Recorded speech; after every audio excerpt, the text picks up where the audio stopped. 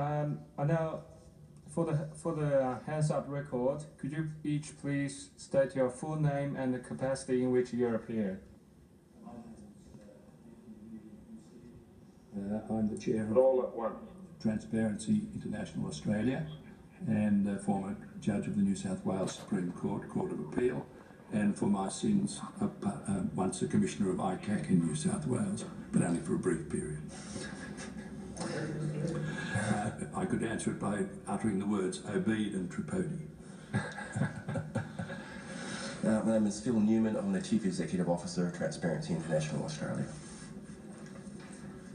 Professor Brown, do you want to go first?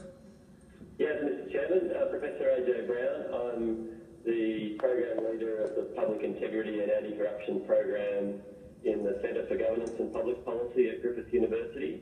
Uh, but um, I'm also a member of the board of Transparency International Australia as well, um, as um, Tim and you may already be aware.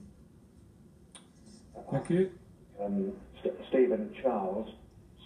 I'm a former judge of the Court of Appeal of the Supreme Court in Melbourne, and I'm a member of the board of the Accountability Roundtable.